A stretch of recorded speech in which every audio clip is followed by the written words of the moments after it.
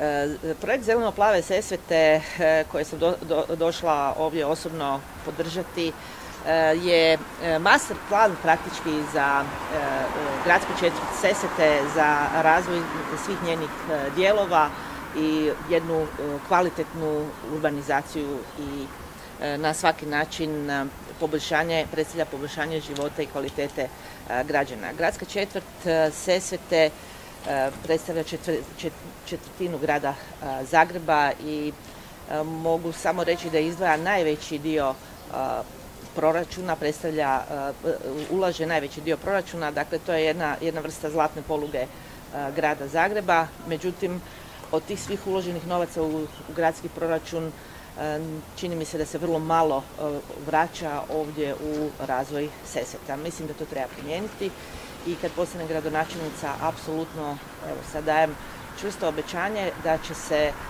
veći dio novaca vraćati e, i da će Sesvete od novca koji uplaćuju gradski proračun imati daleko veće koristi. Posebno to vidim kroz e, ovaj plan, ja bih to tako nazvala master plan za Sesvete, plan zelenih i plavih Sesveta gdje se praktički povezuje Medvednica sa Savom gdje se osmišljavaju sadržaj i centar grada, izgradnja i doma zdravlja i glazbene škole i novi režim prometa i brojne biciklističke staze. Dakle, stvara jednu novu kvalitetu života. Ja sam osobno 2016. godine zajedno sa autorima ovih zelenih i plavih sesveta, arhitektima Baletićem i Jošićem, sudjelovala volonterski u, sa ovim pravnim dijelom u realizaciji, u, stvaranju pravnog okvira za zelene i plave sesvete, posebno ovog poljoprivrednih sadržaja, kako to osmisliti.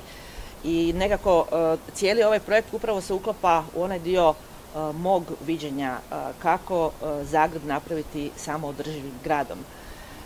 Upravo ovaj poljoprivredni dio predstavlja jednu takvu pologu. I zato apsolutno kad postanem gradonačelnica, već od prvog dana počet ću na realizaciji zeleno-plavih seseta, odnosno svih onih preduvjeta koje koje, se, koje bi grad, poglavarstvo grada i gradska administracija trebala ispuniti kako bi taj projekt zaživio, a on se odnosi prvenstveno na donošenje novog urbanističkog plana grada Zagreba.